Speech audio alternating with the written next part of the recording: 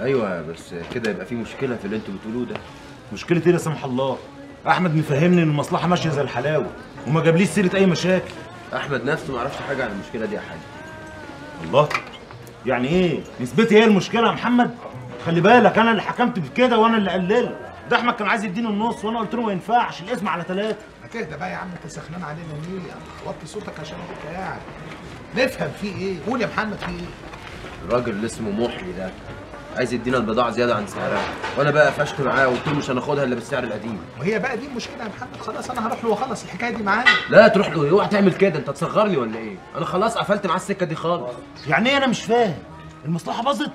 مكسب 2000 3 في الأسبوع. ضاع علينا؟ اسمع يا أحمد أنا ما ينفعش معايا الكلام ده. اهدى بقى يا حاج فتحي الله. أنا اتفقت مع صباح اللي هي بنت ام صباح الله يرحمها. هي اللي هتورد لنا البضاعة اللي إحنا عايزينها. والمفروض خضر كان جابهم بس المظاهرات بدأت. ما ينفعش يا محمد. إحنا عايزين بضاعة كتير قوي كل أسبوع. ما اعتقدش إن صباح هتقدر توفرها لنا. يا جماعة مش عايزين نطلع منظرنا وحش قدام التجار. كده هياخدوا من أي حد غيرنا. اسمع بقى منك ليه. أنتوا شوفوا لكم حل في مشاكلكم دي. آه أنا عايز أطمن على فلوسي. اطمن يا حاج فتحي الله يبارك لك. أنا ومحمد النهارده هنسافر وهنشوف إيه الحكاية ونحلها. لا سيب لي محمد النهارده أنا عايزه. ليه يا حاج خير؟ في إيه؟ خير إن شاء الله. في ناس باعتين معايا فلوس من السعودية. عايزين نروح لهم ونديها لهم النهارده. آه، فلوس ايدي يا حاج؟ جرى لك إيه يا أحمد؟ فلوس يعني فلوس. في حاجة اسمها فلوس إيه يا حاج؟ إيه يا عم ما أنا متزربن كده. اهدى شوية. أنا عايز أسأل يعني مصري ولا ريالات؟ يا اسطى انت يا اسطى انت يا جدع انت.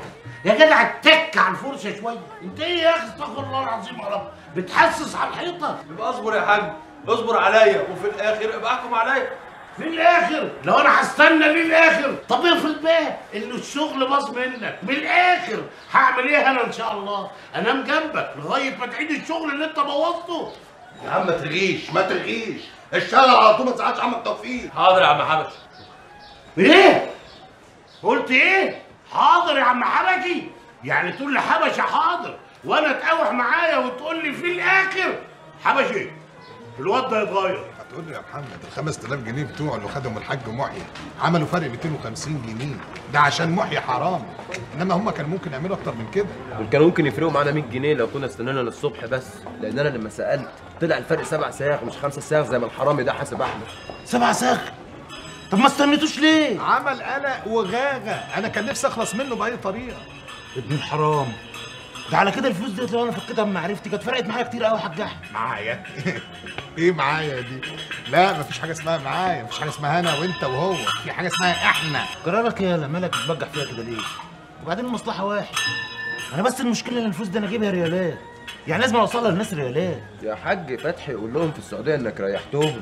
حولتهم مصري بدل الشحطاطه اللي أهاليهم هيبقوا فيها في وسط التكسير والمظاهرات. لا ده في حاجة كمان. ده أنت ممكن تقول لهم إن أنا غيرت لكم وتعبت وجبت لكم قرشين زيادة خدمتكم يعني. لا لا لا لا. ملهاش لزوم قوي موضوع الزيادة ده. أنت عايز تفتح عينيهم علينا ليه؟ ده كفاية قوي الكلام اللي قاله محمد. آه إحنا رحمناهم من الزحمة والمظاهرات والبهدلة.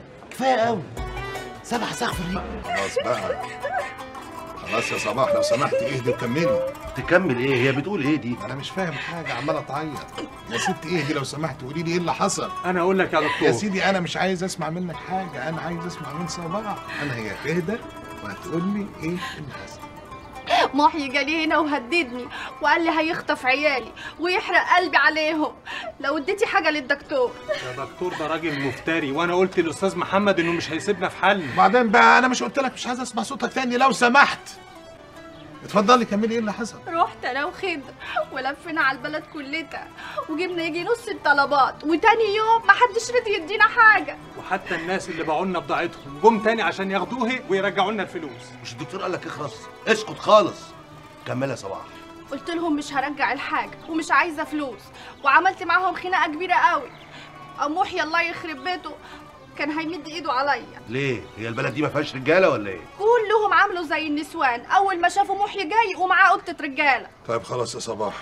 اهدي انت وأنا هتصرف. هتتصرف؟ هتعمل إيه يا دكتور؟ مالكش دعوة. هو دلوقتي الدكتور مش قال لك مالكش دعوة؟ ما تسكت بقى اسكت. حاضر. قولي لي يا صباح الحاجة اللي انت جبتيها فين؟ شايلها جوه وقافلة عليها. ماشي. النهارده هتحملها خضرة وتروح بيها على مصر. استنى تعالى هنا أقول هو الحاج محي عرف منين إنك أنت وصباح بتجيبوا البضاعة دي ليه؟ إيه؟ إيه مالك بلمت ليه؟ ما ترد على الدكتور. أنت مش قلت ليه خرس؟ لا حبيبي ما تخرس. المرة دي رد بقى على الدكتور. معرفش الله ما تعرفش إزاي يا واد أنت؟ هو في حد غيرك يعرف إن البضاعة دي جاية لنا؟ صباح. صباح؟ معقولة صباح هتروح تقول له إن البضاعة دي بتاعت الدكتور؟ وتقطع عيشها بإيديها. وأنا مش عرفنا أنا؟ ده راجل إيده طايلة في البلد ويعرف دبة النمل. طب بص بص يا خالد أنا مسامحك. أنت عارف ليه؟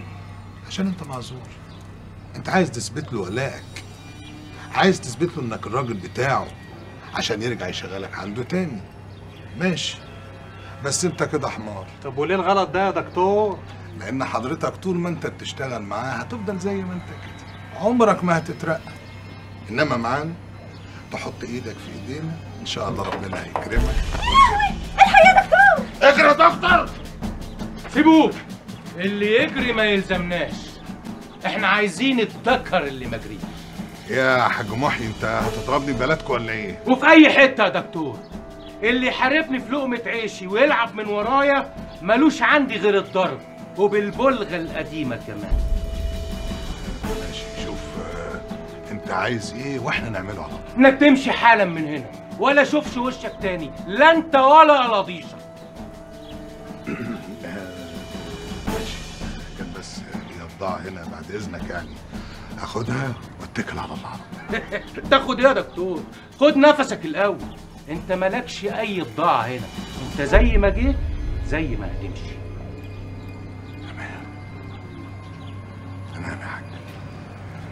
يا صباح البضاعة اللي عندك اعتبريها بتاعتك. اعملي فيها اللي انت عايزاه. لو فتحت بقك بأي كلمة تانية هخلي الرجالة تكسر السوم فوق دماغك. ليكن ليكن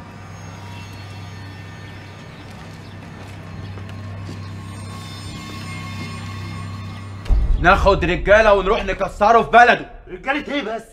يا حبيبي اخد الحق حرفة. إحنا مش بلطجية ما تقول له حاجة يا أحمد. يعني إيه؟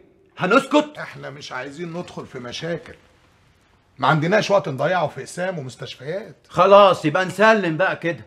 نشوف حالنا بيقف وبضاعتنا بتتاخد مننا قدام عينينا ونقف نتفرج. بالعكس بقى. اللي عمله محي ده خدمنا ما ضرناش. جرالك إيه يا أحمد. سلامة عقلك. ده ضرنا ونص كمان. ده خرب بيتنا. استنى بس عليا يا حاج فتحي الله يبارك لك. ده أنا بحضر له مرزبة. لو وقعت على راسه مش هيقوم منها تاني. بس أنتوا تسمعوا كلامي. طب قول يا سيدي. قول ونقول قولك إحنا من هنا ورايح مش هنشتري بضاعة لا من محي ولا من غيره. هنعمل بضاعتنا بنفسنا وفي أرضنا. طب وهي فين أرضنا دي بقى إن شاء الله؟ يا ابن الجنية. هنشتريها. صح كده يا أحمد يا حبيب أخويا؟ الله ينور عليك يا حاج فتحي لا وهنشتريها في بلد محي وساعتها يبقى يوريني نفسه. أيوه بس أنت كده تبقى بتقف قدام القطر يا أحمد. محي ورجالته مش هيسكتوا. قطر إيه بس؟ إحنا يا ابني لو عملنا اللي بقول لك عليه ده بعون الله هنركب الصاروخ. ولو ركبنا الصاروخ القطر نفسه مش هيقف قصادنا. ربنا يكرمك يا شيخ أحمد. الله يكرمك يا عمي الله يكرمك. تعمل إيه؟ بتعمل إيه؟ الله يبارك لك يا حاج. انت بتشيلنا ذنوب. جرى إيه؟ جرى إيه يا ابني؟ الله انت عاوز تحرمني من خدمة بيت الله؟ انت عايز خدمة تاني؟ ما كفاية الخدمة اللي انت فيها. الله يبارك لك ويقدرك عليها. هي الامامه سهلة. أيوه بس ده ما يمنعش اني اساعد. لا الله يبارك لك. وأنا مش عايز اتعبك يا حاج. الله لا حول ولا قوة إلا بالله. الله يكرمك. الله يكرمك. لا قول يا شيخ عمدين هو ما فيش هنا صندوق تبرعات؟ والله يا شيخ أحمد. لا يا ريت تقول يا دكتور أحمد. دكتور؟ هو حضرتك دكتور؟ بطري وطبعا حضرتك بتسأل أنا ليه اخترت البلد دي أعمل فيها أول مشاريعي يا ده أنت كده قصرت عليا السكة قوي يا ابني. ليه بقى إن شاء الله؟ رد الجميل يا سيدنا. سيدة من بلدكم من سنين طويلة خطت عتب الضرمة. كنت نسيتها خلاص. لحد ما جاتني في المنام. خبطت على باب الدار. فتحت لها لقيت شعرها مكشوف. وخدتني من إيدي وجابتني على هنا دخلتني بيت ملوش لا باب ولا بوابة. دخلت جوه البيت قالت له سقف. ببص ورايا لقيتها راحت. وراحت فين يا ابني؟ مشيت. ومين دي المسعدة اللي ربنا أكرمها بزيارتك في المنام؟ اسمها أم صباح. كانت بتجيلنا زمان وهي محملة بكل الخير. جبنة وزبدة وقشطة. جيت أدور عليها. واعترت فيها يا ابني. الله يرحمها يحسن مسواها. أم صباح. أم صباح. أيوة. افتكرتها يا دكتور. دي كانت مرات جابر الغنيمي الله يرحمه وسابت كمان وراها صباح أرملة وليها عيلين. لما وصلت هنا ما استغربتش البيت. ولما دخلته لقيته هو نفس البيت اللي أنا شفته في الرؤيا ولما شفت صباح وعرفت إنها أرملة اتأكدت إنها جاتني في المنام عشان توصيني على صباح وعلى عيالها